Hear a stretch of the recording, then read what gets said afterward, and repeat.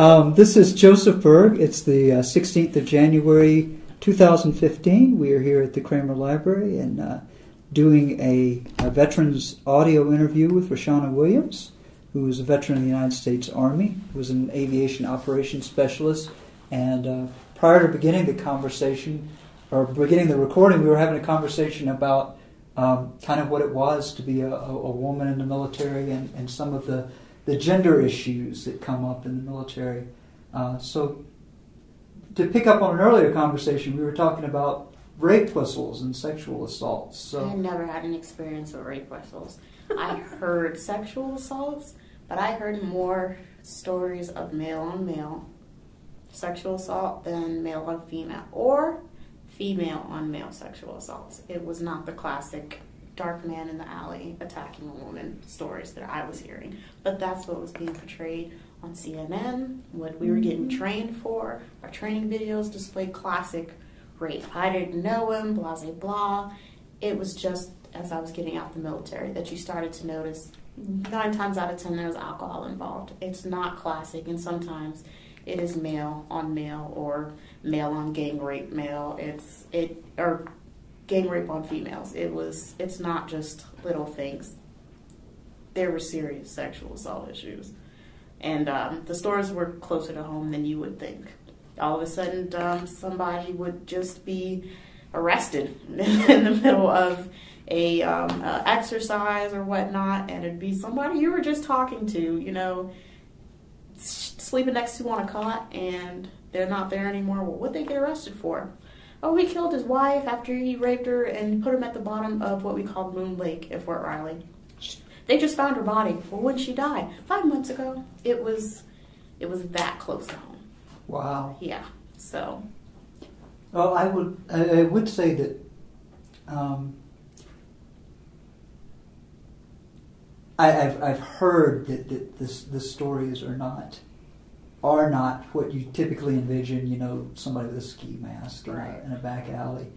Um, one of the theories I've heard, and I want to kind of get your take on this, is that if you take people and you put them in a high stress environment, you take away alcohol, you take away drugs, you take away virtually any kind of time off, that sexuality becomes an outlet for people. That it's one of the few things they have left to them to sort of um,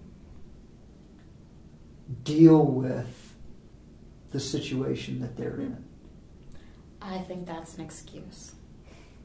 Because if you think about it, Geneva Code took away sex between the soldiers too. I mean, sex was gone, alcohol was gone, a lot of freedoms were taken, so you could have your outlet could have been to go find illegal alcohol. It it didn't have to be to violently attack somebody or to attack anyone or it. I think that's an excuse. I I don't believe that. I was in the same situation and I got through it, and I didn't rape anybody. Um, it's an excuse. How did you cope? Um, I coped fine with my deployments. Um, they were prior to me becoming a mother. Mm-hmm. So my my experience pre mommy and post mommy to in the military two different things. How so? Because that's when the sexism really came to play. When I was raised, I was raised to have male friends. Females were very messy. They could get dangerous, and it's been proven females are just more dangerous growing up than, than males. And um, males could always protect you, have male friends. My cousins were male. I grew up in a house full of males. So when I came to the Army, I, I did the same thing that I always did. I just kind of matched in with the guys, whatever. Um, there was nothing they could say that didn't gross me out. And I'm pretty sure things that I said grossed them out. I'm pretty sure I, I kind of I kind of took them for their money on that aspect. So when we got to Iraq, it wasn't. Um, I was 17, turning 18, so I wasn't allowed to have a rifle yet when I got there. But later, I got one, and my first sergeant could have sent me home, but they didn't. So I got to stick around, and it was just the same. Because you're allowed to enlist at 17 with your parents' right, permission. Right. right. And I actually, my mother is also, she was also enlisted, has been since I was two. So she was on a deployment at the time, and I couldn't get the paperwork to her. But because she was a single mother when she enlisted, she had to give up custody for two years. And she gave it to my grandmother. My grandmother's not the type to say no, you can't see your kid. So she just like never gave it back.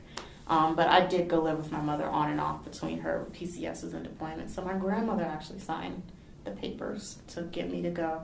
And I went to basic in August of 2008 at 17. And um, by the end of the year, I was in Iraq. So. Before your next birthday? Yeah. Wow. Um, was it in aviation operations? Yes, So that was you my the same primary specialty MOS. your, yes. your whole time in the army? Yes. So, um, so how did that change when you became a mother? That's when I started noticing the sexism, and it was a lot that was going on in civilian time um, as well. I got pregnant, and I didn't really say anything because I wasn't fat yet. I could still function, and they treated you as if you had leprosy. You can't go to the range. You can't do anything. Go sit in the corner and go sit behind a desk because that's all you're useful for now.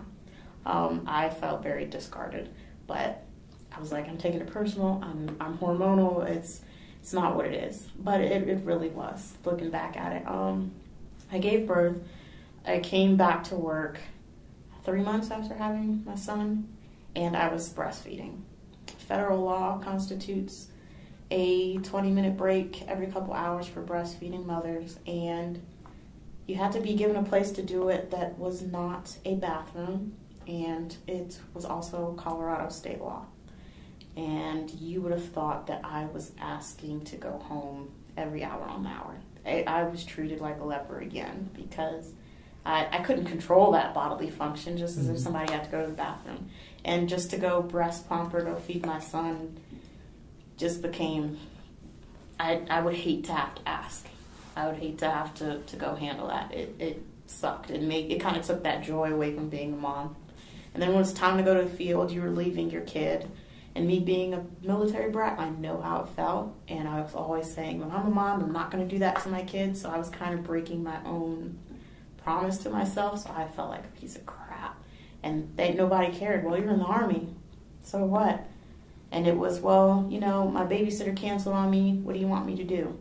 Well, you're in the army. You need to figure it out. You need to find somebody. Or there would be people who were nice enough to offer, but no offense, I don't know you. Mhm. I'm not going to leave my kid with you. So it got to be kind of hostile in that regard. But um, So what what year was your was your child born? 2012. 2012. So this is a pretty recent experience. Yeah. Um, do you th- did you kind of get the the blank stare, particularly nursing in general? Breastfeeding has been Taboo. yes in American society. Did you sort of get that blank look like nobody has ever? kind of when I was fat, there was a gang of fat girls. So we're all pregnant together. We're all, you know, experiencing this together. And we all kind of gave birth around the same time. So we were all at each other's houses. Breastfeeding was normal. We were girls in the army. We had seen each other with no clothes on. It wasn't, some of us were in each other's delivery rooms. It wasn't a big deal. And um, I came back to work, and some of the men who had had, like, there were some guys who I'm like, Your wife's pregnant again? Those were the ones that are like, Oh, yeah, they were the coolest with it. And then you had the ones who hadn't had kids in a while or didn't breastfeed. They were the ones that kind of like, You need to do what? Ew, that's gross. Or go do it in the bathroom. And I'm like, Excuse me? Do you eat in the bathroom? Why would you do that? And uh, it, was, it was, I got mixed reactions from everybody. And um, it, it kind of made you feel shameful. My family is not American, so and even um, in Jamaica, breastfeeding is they're more open with it. When my mom was stationed in Europe, we were in the flea markets, and you'd see women Mhm. just whatever boob out, feeding baby. It was nobody paid it any mind. It wasn't what it was, but in America, it's so taboo, and it's just in the army with. I think there were eight females in my unit, and I was one of two in my section, so it was very weird. And the other female was younger than me, so she was like, "Oh, that's she." She it grossed her out too because she'd never experienced it. So it it made me feel very, not really picked on, but kind of bullied, kind of you know ostracized. So How big was your unit? my first unit at Fort Riley, I belonged to an infantry brigade, um, one four, and I'm sorry, four four, and that was probably 2,000 people. But they belonged to a division, Mhm. so that was probably 50,000 people together. but when you said there were eight other women in your Uh, unit, that was my recent unit here at Fort Carson. Um, I would say about 300 people, and it was so small because we were attack Apache battalion, Mhm. and we were the only one here in Colorado, and for the most part on this side of the United States. So when something happened from Japan all the way to Colorado, that was us. so eight eight women out of three hundred. Um, it's fairly fairly small population. And not all of them you could just walk up to and say, "Hey, how's your day?" They were varying in ranks.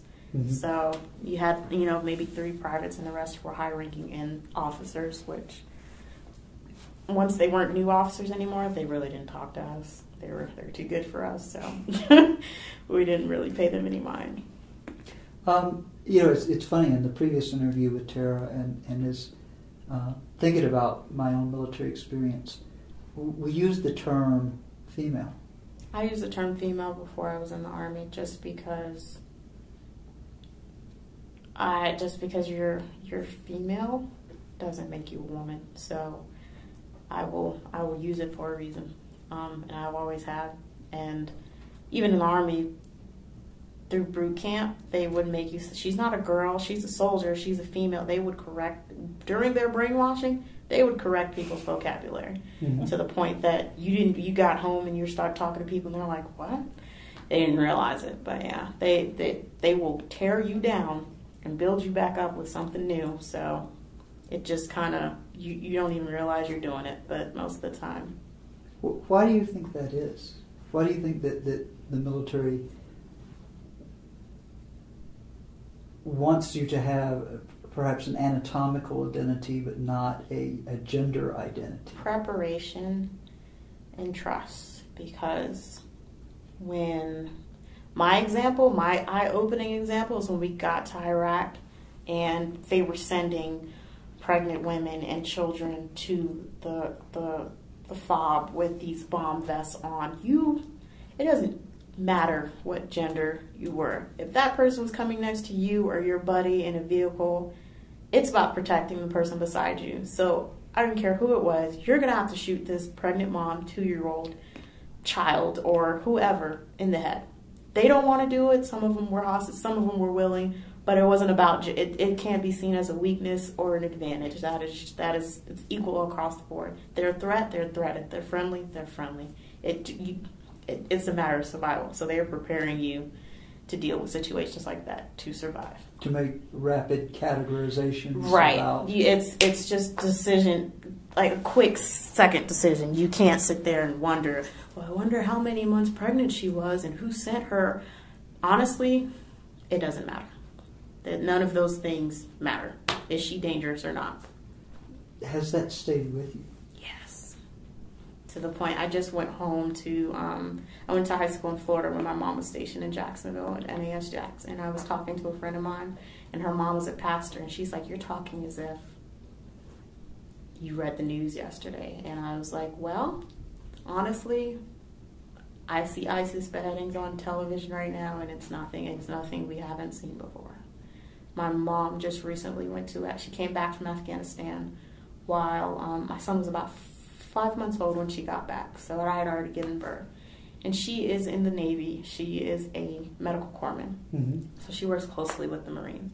And she said one day she um, got called out to the scene and she opened the Humvee door. It was an armored Humvee. And there was literally nothing left of a person. But there was pink matter and blood everywhere. The person had been obliterated. And she just stood there and cried. But because you're not behind the wire, you're not behind any extra protect, you cannot do that. You can't break down like that. But it stuck with her. She called me that night, or her night, my day, to tell me. But you you can't deal with that right then and there. You got to store it away and keep it moving because you still have to protect people beside you and yourself. So um, I know she has her story. I think almost every vet has their different trauma story doesn't have to be as, as bloody and gruesome, but I think every vet who who had at least been and I, I know talking to the older vets, I feel like we fight cowardly compared to them because they had the the uh, the knife batons at the, the they they were hand to hand combat. I could not deal, but they were doing it. They were sleeping in the forest. Stuff that we complain about now, they were doing as if it was nothing. So when I tell you I have more respect for them than for the people are doing now in the army, I, hats off all day because I I could not.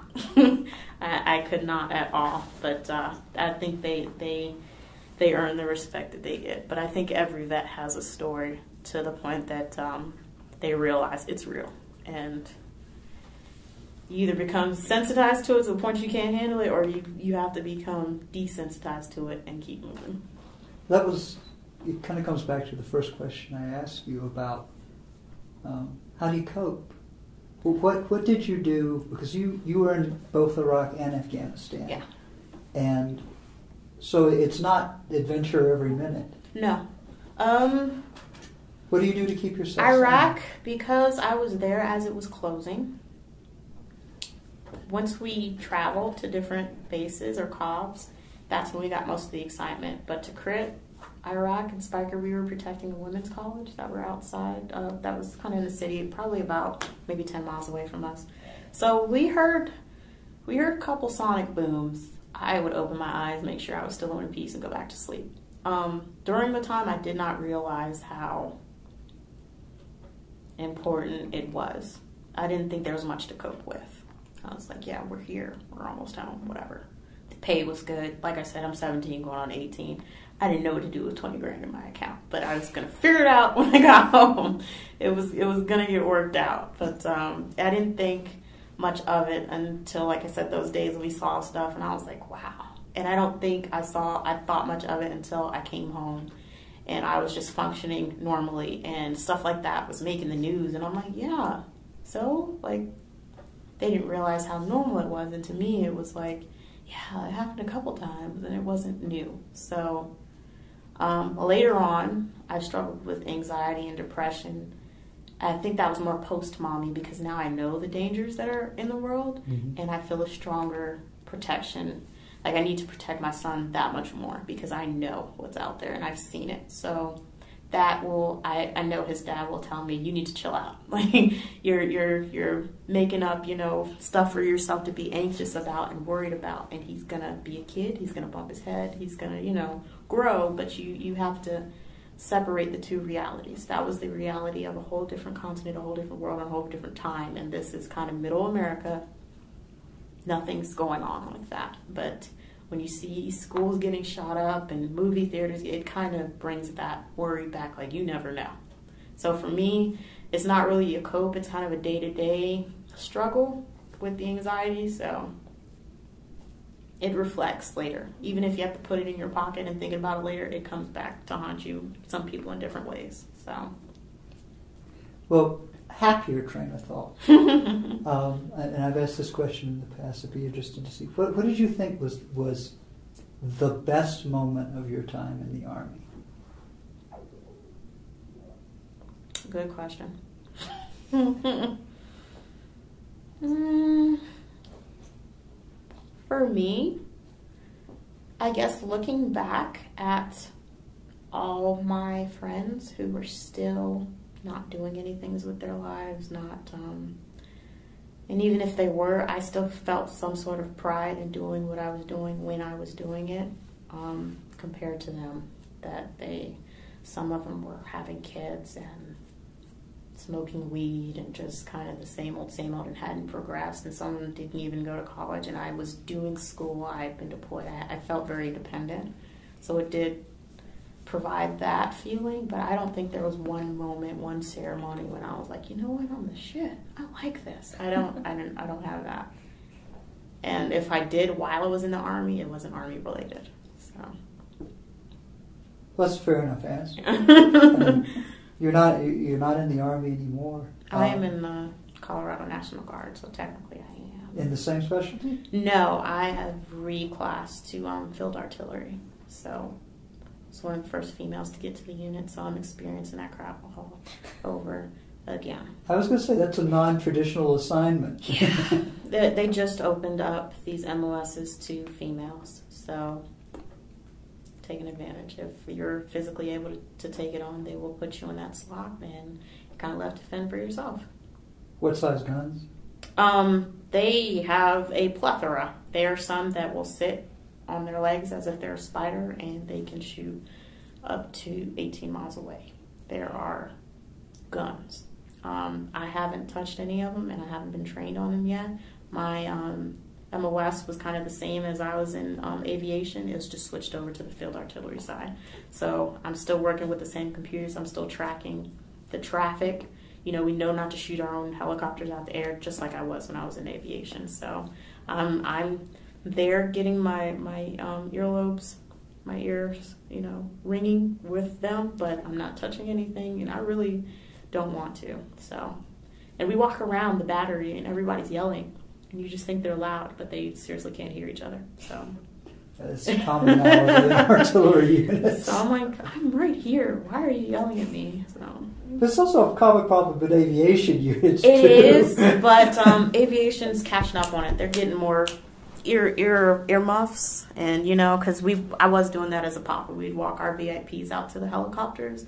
And um, it does get loud out there. We didn't wear headgear on our hel- we we knew better because you you'd have a hat and then you'd have two halves of a hat. So either, either, you didn't wear it or you had a um, you had an actual helmet on. So we we had the hearing problems too in the aviation, but I do not think it's as, it's as bad. And the pilots were they usually have their own protection and we had ours. So it's a little bit different. They're out there, even though they have protection. There's no eluding that sound when it goes off and continue. It's it's shaking your bones. So I don't even think it's more of the um, I don't know how to separate the two because I know sounds are vibrations, but I think the damage is more coming from that that big old boom, you feeling it, than the actual sound. I know it makes sense, but the people's teeth I will notice are shattered at because they're when they do go off, they're they're biting their their own their own teeth together to the point that they're shattering. So I was like, good yeah, it's like you guys don't notice this. Oh, it's nothing. It's a battle wound to them. I'm like, whatever. There's there's no way I'm getting my teeth back. I'm like, okay, it's not common, but I did notice it. I was like, what? So the stories are funny, but like I said, it's I am one of two females there now out of a whole five thousand people. So it's just that whole upward balance, and I'm still pumping at the end of the day every day. So it, I just have to re-educate on what I need to do when I need to do it, and it's just and they have men have no in the units they have no privacy when it comes to females because they see you as just one of the guys. They just kind of uh, they don't realize yeah we're sharing a bathroom. Could you not walk in when I'm changing into my dress uniform? It's just kind of they don't they kind of don't see you sometimes, so it's kind of awkward, but. Upside, I wear my dress uniform, and the commander can't correct me because he doesn't know any better.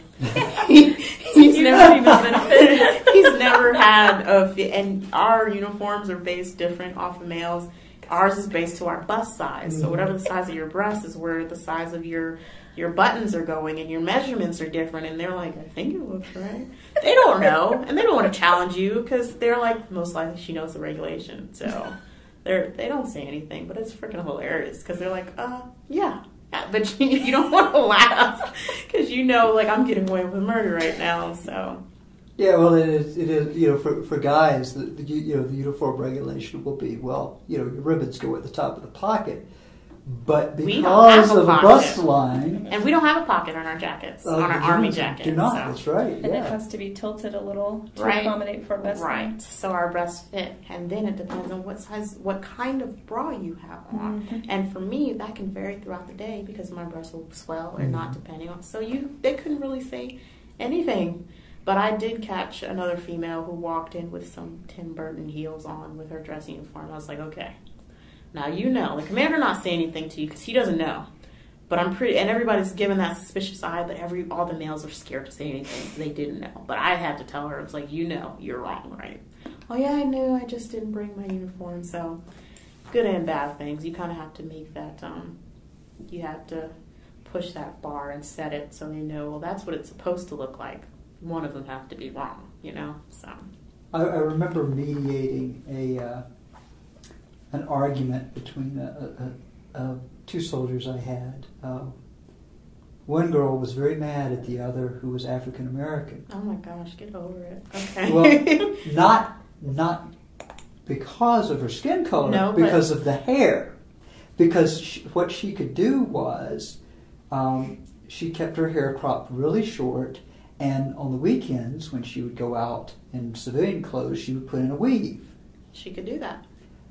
The white girl said, "Well, I don't have that luxury. I Yes, you do. yeah." And it was a conversation that was very alien to me because I don't know anything about women's hairstyles. I don't know. And actually a big thing on CNN right now because me as a black woman, my mom, like I said, I, I do have a Jamaican family. Locks and dreads and whatnot and braids are very popular where we're from. And the Navy and the Army just came out with regulation says that we can't wear them. And it's very hard because I have what we call natural hair in the black community. I don't have um, chemically straightened hair. So we will be told, what I'm saying? We as African American women will be told that our natural hair is unprofessional. And it really hurts because it's what's growing out of you can't help it. It's like your skin color. So um there there are regulations saying well, you can't dread. Well, white women braid their hair all the time. Why can't, you know, black women do that? It's even though it may look messy, our hair is different. It's just a different, but it's we're being told it's unprofessional. So it's a really big thing on CNN right now, and they're bowing over it. But she's absolutely right, and she, the white girl, could have worn a weave, and the black girl, she could do that. It in the Marine Corps, you're not allowed. If you you have to have ethnically appropriate hair. That's why you're in Which- uniform. I'm saying while it's on Oh, the weekend, she had that option. Now, while you're in uniform, um, technically you're not allowed to wear weave in the army while you're in uniform unless you're Mhm. balding, or I forgot another reason. But braids are acceptable, and um, a couple other hairstyles are acceptable. But they were saying twist couldn't be because they looked faddish. But it's been something that Africans have been doing since Jesus was walking. So you mean by like cornrows, right? No, just a two strand twist. They were saying that y'all can't do that. Huh.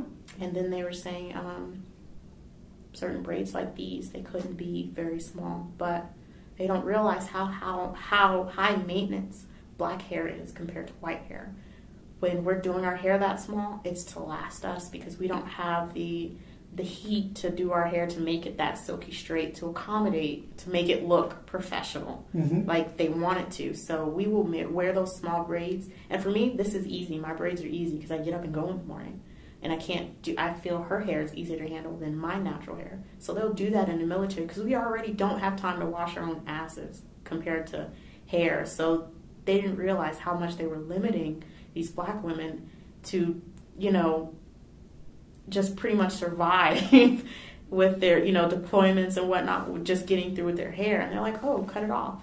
Well, why do I have to cut mine off? She doesn't have to cut hers off. It was, it's not really, I, I don't think they're trying to be racist, but they're not considering everything when they're mm-hmm. making these, you know. Well, I think a lot of a lot of civilians would be amazed to the extent that the military dictates Mhm. your your appearance. hmm But Um, that that perception comes from the civilian world. Well, your afro isn't um, it isn't professional. Well, I'm just wearing my hair out. My hair just happens to stand straight up instead of laying down. She wears her hair out, and mine it looks two different things, but it's not professional because of what was seen in the 70s and a lot of that that error Mhm. and the hairstyle there go hand in hand. So they think negatively because the Black Panthers wore afros, and it's not the same thing. It's just what we were born with. So it, it's coming from the civilian world and being carried into the military. So, but yeah, they dictate down to the length of our mm-hmm. nails and the color of your nail and the color of our nail mm-hmm. polish and the color of your makeup, and yeah. So kind of sucks being an army, but hey. So when we do get weekends and you do see those military females out in the town with like eight different shades of makeup on, let them have it they've they've been like yeah, like trust me, they've been like that for a while. So they're just trying to experience some you know sexual freedom. They're trying to let their femininity out. So just you know they look retarded, you know they look like a clown, but let let them have it. It's they're just trying to feel like a girl again because there are times where before they came out with the sanitary policy, it was more than three days before we could shower, and you know we were living off baby wipes. So just let them have it. Yeah, that's um, that was actually one of the uh, one of the oddest issues to have to solve in mixed gender units was uh, latrine facilities and um, in such a way that everybody was happy and comfortable with it. I can tell you right now, me just getting out the army, I was in the field last October. I'm lying, the October before that, October of 13, with my Apache unit here on Carson. And um, they gave us rooming by section. And of course, we had two females. One of them, she went to go sleep with um, another unit's females. I don't mind sleeping with the males in my unit. Um, I more than trust them. I knew their wives. It was a pretty cool unit. But it was more, I think they were more uncomfortable with having me there than me being there. Because I had some males question me, like, uh, are you supposed to be here? Yeah, why? Like, we're not supposed to be changing in front of every, you know, each other anyway, male on male or not. Um, so I think I did, I did get that vibe, like, you don't really want me to be here.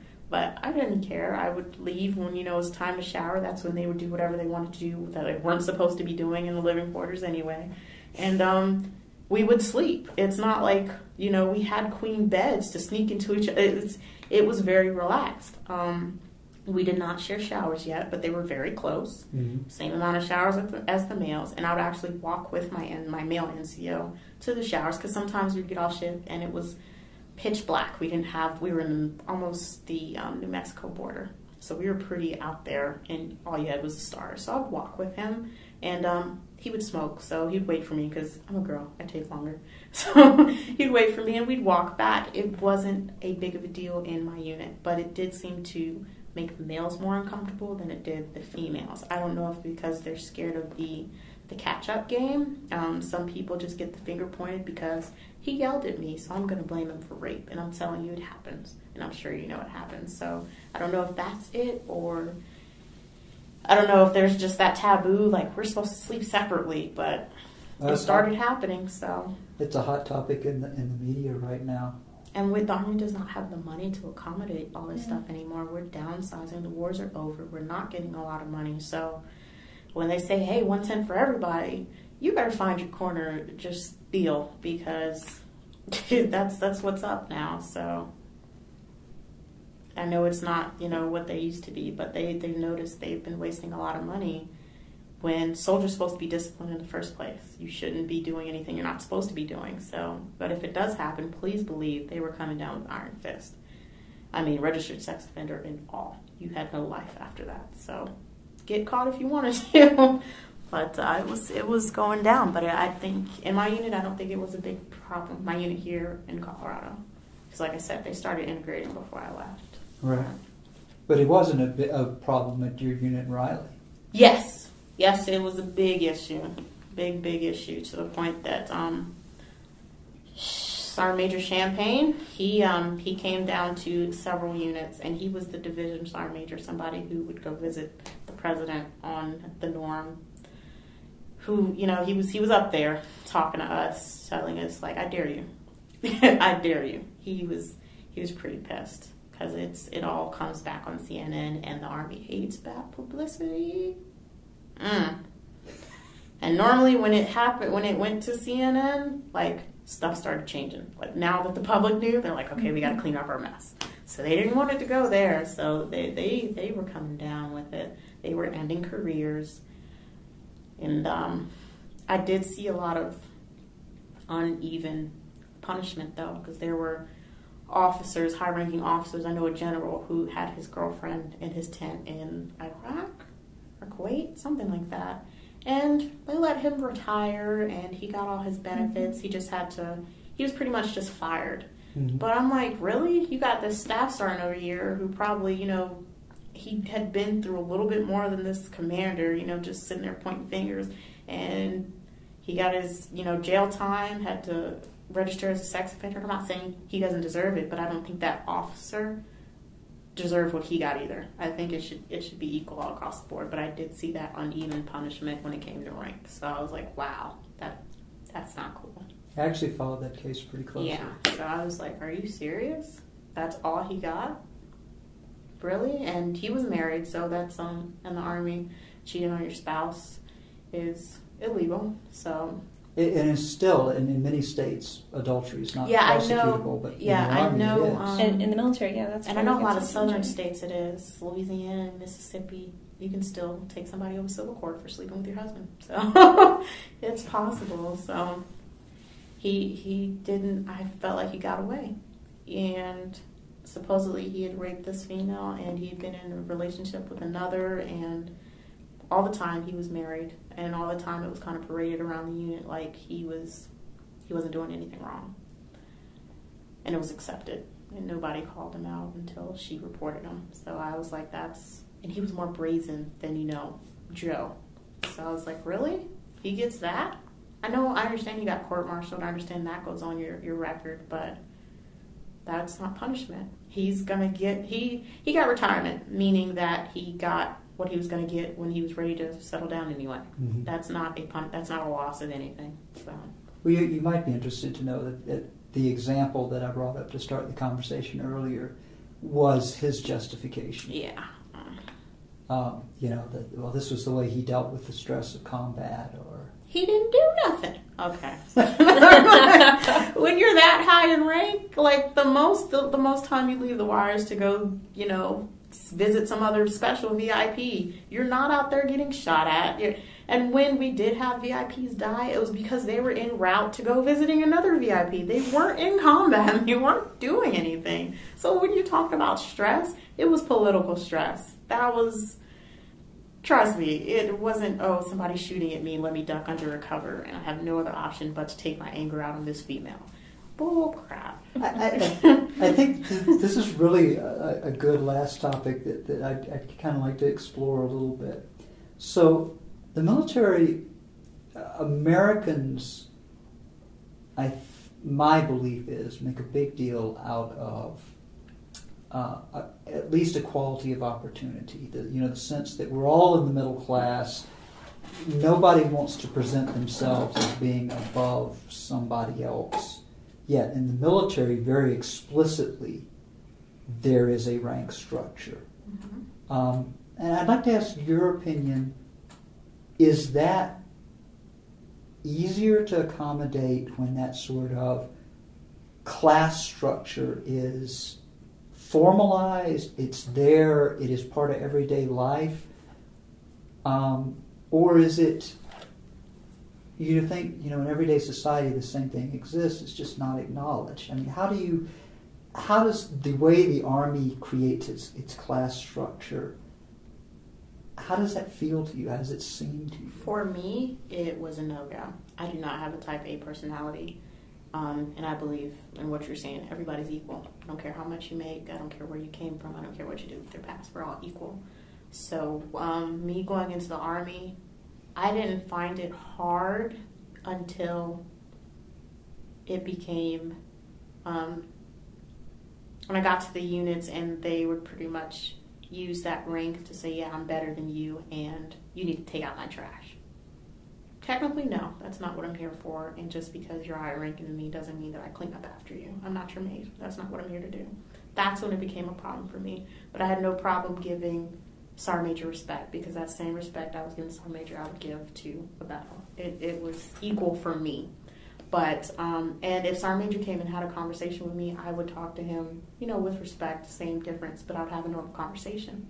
Other people, especially um, my NCOs at the time before I became an NCO, um, they would, you don't just talk to Sergeant Major like you're friends. Oh, he approached me like that, and he's nobody, he's not royalty, he's not, he's nobody different. So it was very hard for me to realize that, yes, there is an ego behind the rank, and they, they were all into it, and they're their co co-ranking people were all into it because they, they had they just wanted to keep their egos up. They wanted to keep that name up. Well i'm a sergeant major and i don't associate and there were some who thought differently. So i, I had a very hard time with it because i'm like you're you're no you're still you know uh, underneath it all we, we put our pants on one leg at a time. We were the same. So i didn't have an issue when it came to the actual rank structure. It was the attitudes behind it.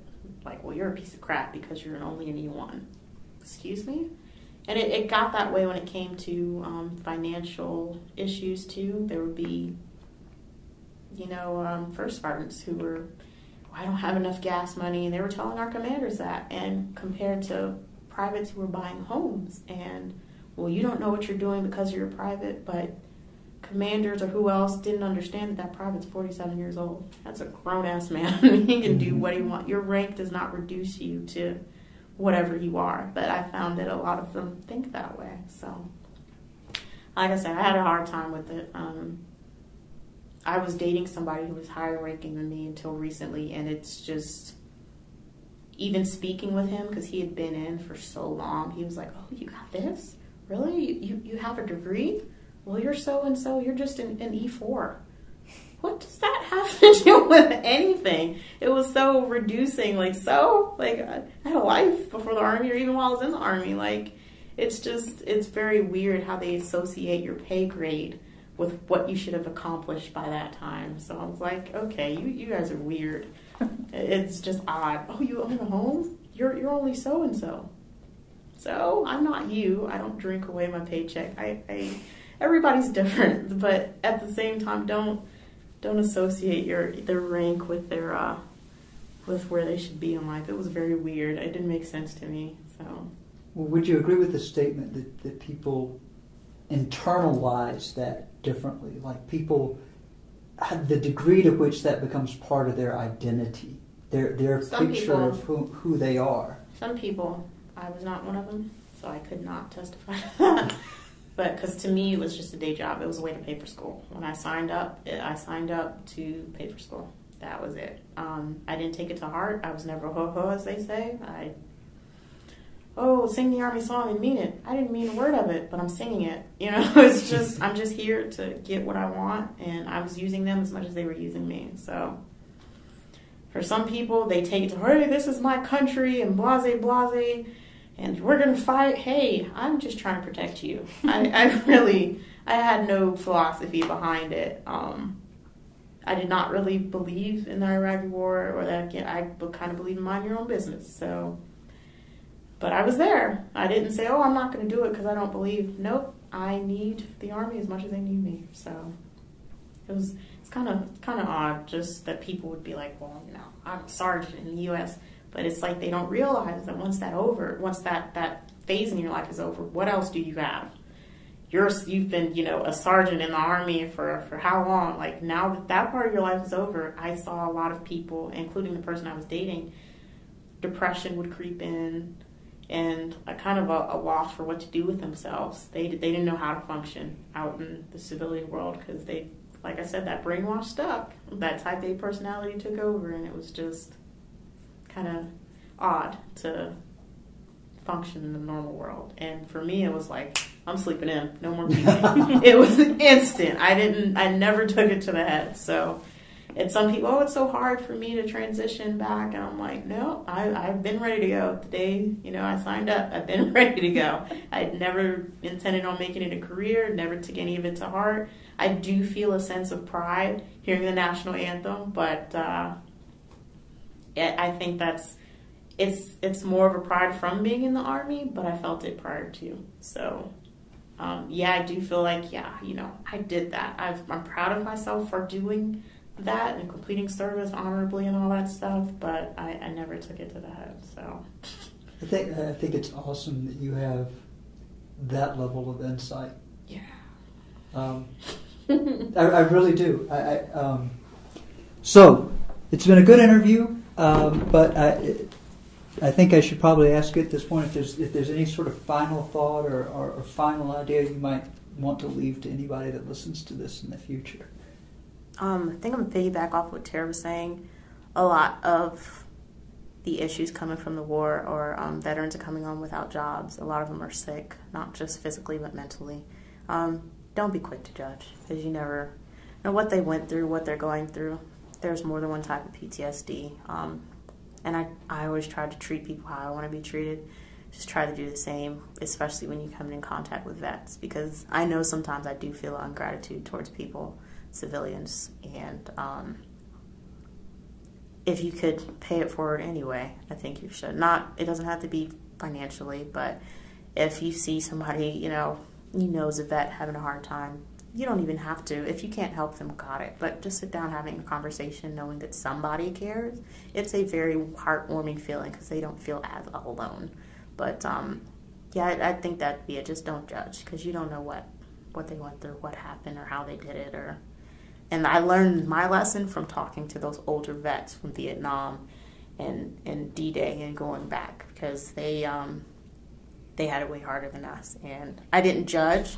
I knew um, they had been through things, but you know, visiting the World War II Museum in New Orleans, Louisiana, and watching most of the movies. I think the most recent one came out last year in 2014 was um, Fury mm-hmm. of a tanker, and they they were for their country. So, uh, like I said, that one of them survived. Um, but you, you never know how he functioned the rest of his life seeing everything that he saw. It, it's it's impossible to function normal, normally as if nothing happened because it's very traumatic so.